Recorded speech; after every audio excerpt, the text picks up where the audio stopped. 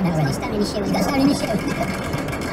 quite the joke. Okay. Hello, Hugh. I'm very well, very happy to see you. Well, and happy to see you as well. Uh, from tomorrow night, Hugh is back with his American accent, starring as Ryan Clark, a spacecraft captain in Sky's new comedy. It's called Avenue 5. In 40 years' time, when space travel and tourism has come of age, and Avenue 5 is a luxury space cruise ship carrying 5,000 passengers. I know it's an unusual premise.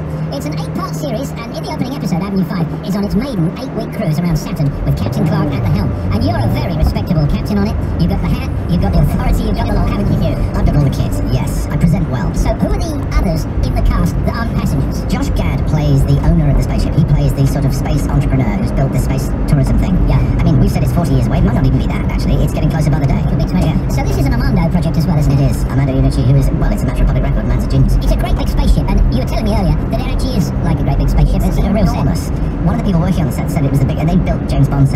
Said this is the biggest thing they'd ever done.